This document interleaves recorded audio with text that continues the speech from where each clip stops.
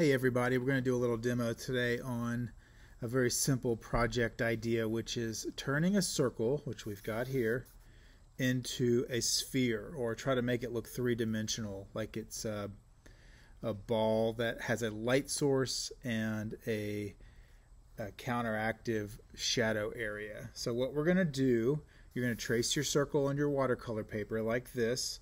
You're going to pick out a color that you want.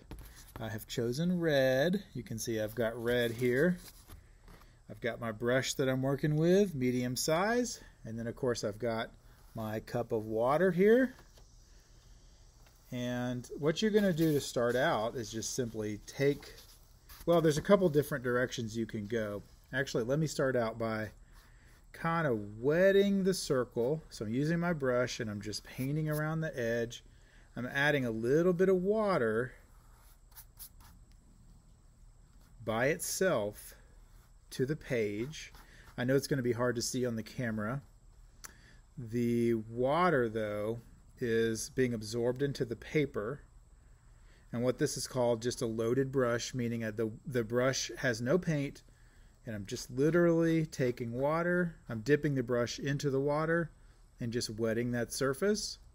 Notice that I'm going around the edge of the circle pretty carefully and the reason for that is I don't want the paint to spill over the edge of the uh, ball that I'm creating.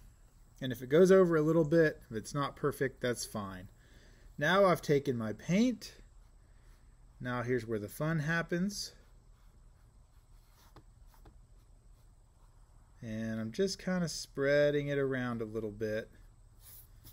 And then I'm using my brush to try to control where the paint goes.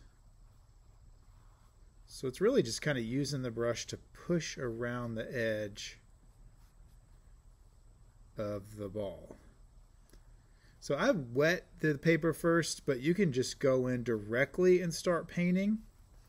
Now what I'm doing is I'm leaving a lighter area here. That area is going to be the light source. So if we have an imaginary ball that's sitting outside, and the light source is coming in this direction. This side down here will be the opposite side, which is a little bit of dark. So the rather than laying the rather than laying the um, darker paint along the edge of the ball in a flat line, which is kind of common mistake a lot of people do, the shadow will actually curve slightly. So it also kind of reminds me of, of painting a planet. Like if you can imagine area space atmosphere and we've got this red planet, something like Mars I'm creating here. And I'm just adding a little bit of red to my brush and then painting around the edge a little bit like that still leaving this area right here to be untouched. The white of the watercolor paper that's showing through is going to be the light source. Like that. Okay, naturally it's going to bleed into that area and you can kind of help it along a little bit. Now if you have a hair dryer you could speed the process of drying up a little bit, run it over that, but I'm just going to let it dry. I'm going to wait for it and then come back over it with maybe a dry brush. While we're waiting, I'm going to take another color because why not? Let's say I got some burnt sienna here. Just to review, notice how little paint I'm putting out on the pay on the palette here. I'm just using cardboard. Working outside today because it's very nice, so I don't have my normal studio equipment with me. That's okay. Watercolor is a great art process to work on outdoors because it's easy to carry the paper around. So now I've loaded my brush with burnt sienna, which is sort of a brown color.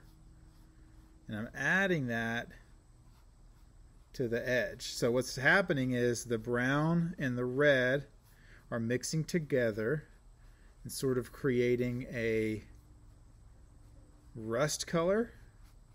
So we really are creating a Mars here, aren't we? Sort of a oxidation look. And you can decide how light or dark you want this to be. You are the expert, as Bob Ross says. So everyone's painting style is going to be different. Even if you've never painted before and you're feeling that you're feeling very amateurish right now, that's okay. I promise you, you will develop a style and it will come out naturally. This is looking pretty good, actually.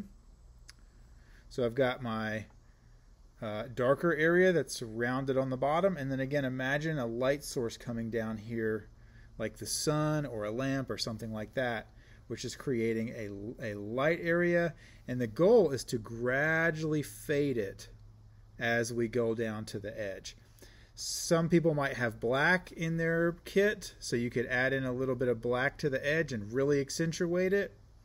Throughout the course of the class, I'm going to encourage you not to use black uh, too much because it tends, especially with watercolor, even more than acrylic and oil, tends to flatten the paintings out.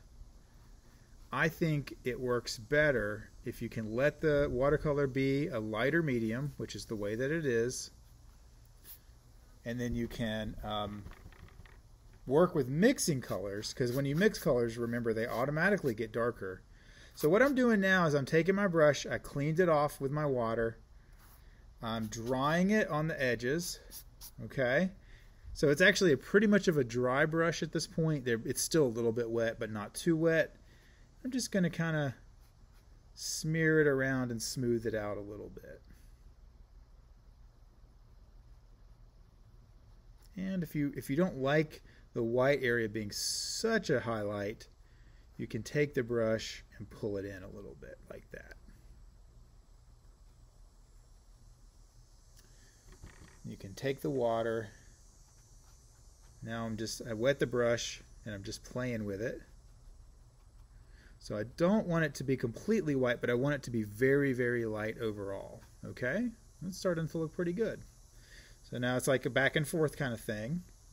I'm going to take, now I added the brown, mixing it with the red. I just want it to be a little bit darker. Okay, like that.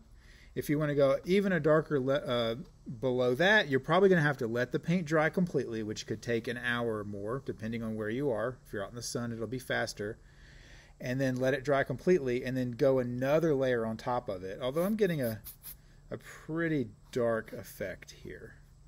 And you notice the paint just sort of does its own thing. And, and part of watercolor painting is just getting used to that. The water's going to slide around the page. It's going to do its own thing. Going to have a mind of its own. And that's completely okay. I personally think the watermarks the sort of dripping effects, that stuff works really well. If we didn't want it, we'd probably do acrylic and oil, right? Okay, so that's probably where I'm going to stop for right now um, because I'm trying to get this video in one take. I'm going to probably take a picture of it and maybe share later. But for this video, this is where I'm going to leave it at. You can see kind of where it's going. So maybe do one, two, three of these and um, see which one you like the best. Experiment with different colors. The other thing that you can do, pick another color. Maybe uh, if you have a warm color, maybe go with a cool color. So now I'm taking Prussian blue, which is a pretty dark blue. Royal blue, navy blue. See how little I've got there? And I'm just going to paint around the edge. Going up to the edge. Probably if I was smart, I would let this dry completely, which I'm not doing.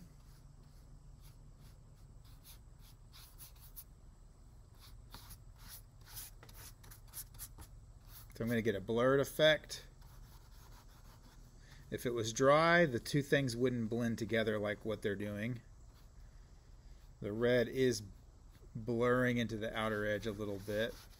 But you know what? I'm also getting some kind of cool watercolor effects going on.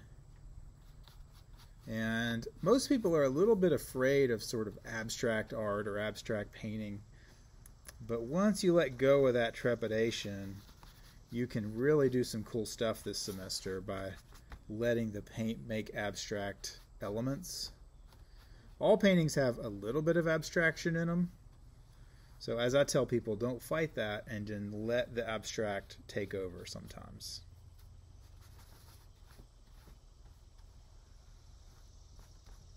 Hopefully you've got a nice day like I do today. You can go outside and play around. If you paint in the sunlight, I'm in the shade, but if you paint in the sunlight, your paint will dry a lot quicker. And watercolor does have a drying time element to it that you've got to got to account for. So sometimes you paint, you let it dry, and you come back and you work on it a little bit more. I personally, I'm, I'm a big fan of working that way. I have a short attention span. So I like to paint, work, leave it out a little bit, come back in an hour, and finish it up. So I'm going to stop there just to give you the idea. You can see where we're going with this. If I wanted to add another layer of darkness, I would let this dry completely and then maybe do some uh, dry brush without a lot of water on top of that and really build the layers up. Okay? Thanks for your time today. Have fun painting, and I'm looking forward to seeing what you're coming up with.